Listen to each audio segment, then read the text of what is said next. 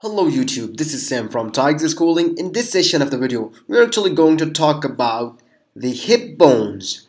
Alright, the left and your right hip bone, which are innominate bones, pelvic bones, are these two big structures, are two irregularly shaped bones that form part of the pelvic girdle. The bony structure that attaches the axial skeleton to your lower limbs. So the hip bones have actually three main articulations. Posteriorly, it has this at this point the sacroiliac joint right over here.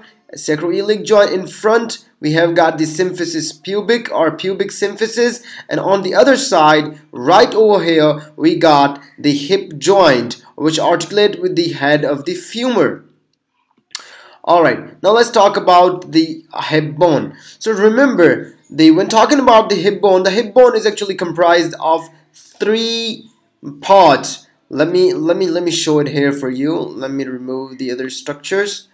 Alright, as I told you, the hip bone is actually has three parts. Let me remove the other parts. Let me multi-selection. Okay, we got this. We got this. Okay and hide others. Right.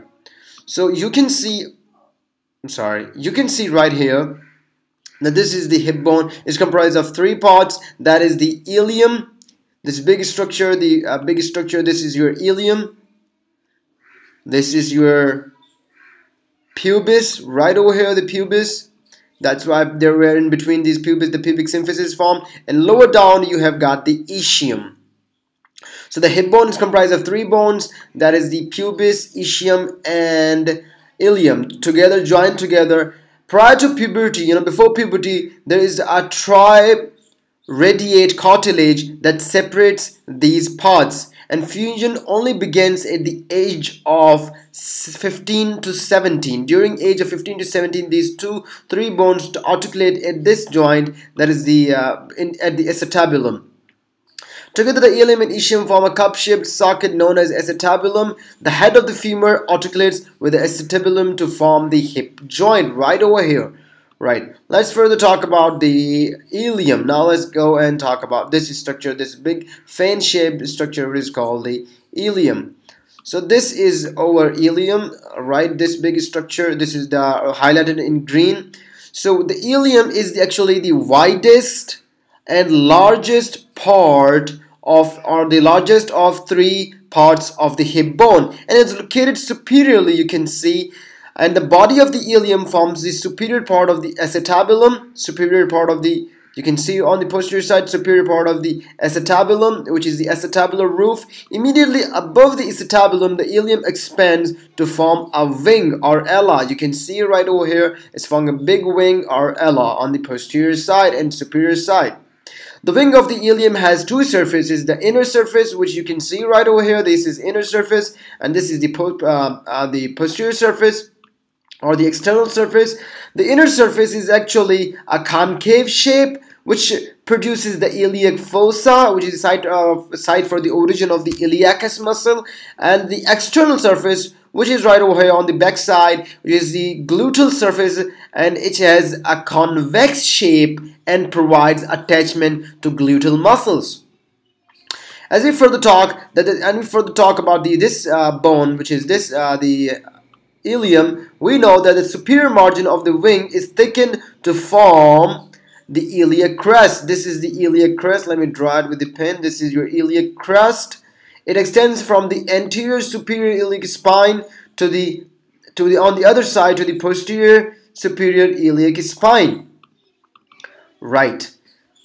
And now let's talk about the for, for other structure on the posterior aspect of the ilium. There's an indicate there's an in uh, I indentation known as the greater sciatic notch right over here you can see there on the posterior surface this there is a notch being formed this is your biggest notch on the posterior surface. This is called your greater sciatic notch right over here.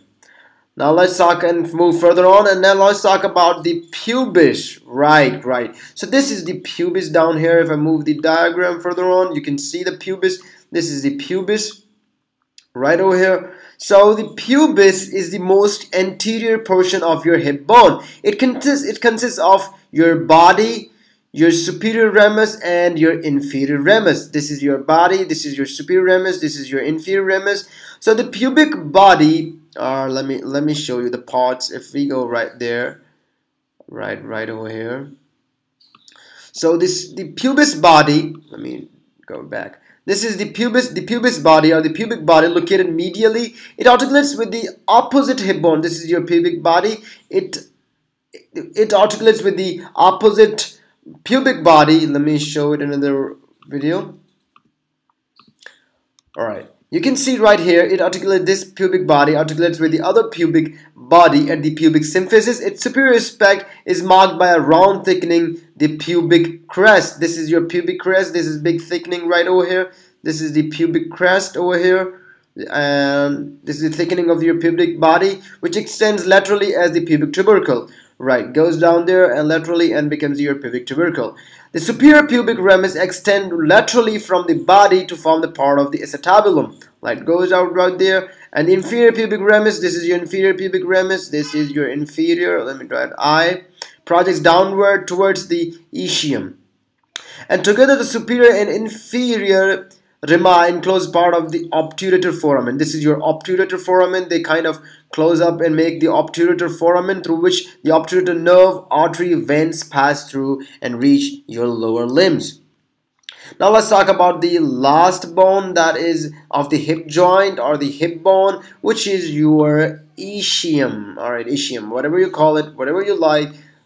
This is called the ischium. This is your ischium so remember the ischium actually forms the posterior inferior part. You can see right over here it forms the posterior inferior part of the hip bone. Much like the pubis, it is composed of your body and inferior ramus and the superior ramus. So the inferior ischial ramus combines with the inferior pubic right over here pubic ramus forming the ischio, uh, the ischiopubic ramus right over here which encloses the part of the obturator foramen that is right over here so the posterior inferior aspect of the ischium forms the ischial tuberosity and when sitting it is these tuberosities on which our body weight actually falls so near the junction of the superior ramus and the body of the posterior region is the bone, the ischial spine. Right over on the back side, we have got the ischial spine.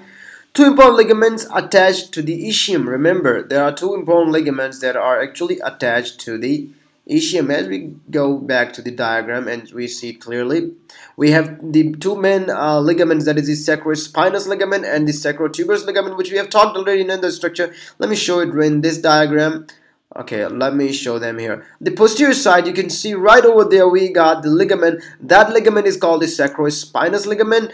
That is the sacrospinous ligament. If we add up another connective tissue we get this again another ligament this big structure posterior to the sacrospinous ligament. This is called the sacrotuberous ligament right over there. If I tilt the picture you can see it on the posterior side on the gluteal side. This is your sacrotuberous ligament and that's it regarding these three uh, three bones uh, the uh, ilium ischium and pubis of the hip bone. And please make sure to visit our uh, website is and keep visiting Tiger Schooling. Thank you